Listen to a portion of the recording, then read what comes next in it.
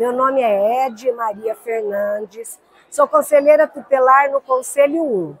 Eu quero agradecer a todos que votaram em mim, mas eu quero deixar claro que eu vou trabalhar por todo mundo, todas as crianças e adolescentes. Embora a gente seja distribuído por setores, mas o nosso compromisso é com todas as crianças e adolescentes de Ribeirão Preto.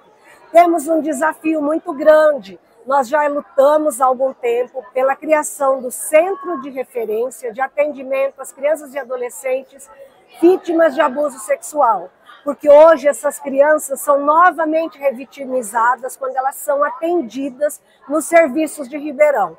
As crianças vítimas são colocadas em espaços com adultos, adultos que sofreram um acidente, adultos que foram agredidos, e elas são de novo revitimizadas. Então é uma luta grande que o Conselho já vem fazendo só que esse ano nós vamos com mais força e nós vamos exigir do poder público que seja criado o centro de referência de atendimento às crianças vítimas de abuso sexual.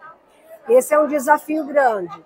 Outros desafios é a questão da, da, das escolas, que já existe uma lei federal que prevê a contratação de assistentes sociais e psicólogos, e nunca foi tão urgente a contratação desses profissionais. Então, os psicólogos, assistentes sociais, juntem-se aos conselheiros tutelares, porque essa luta é nossa também. Nós iremos lutar pela contratação destes profissionais, que são tão importantes na educação.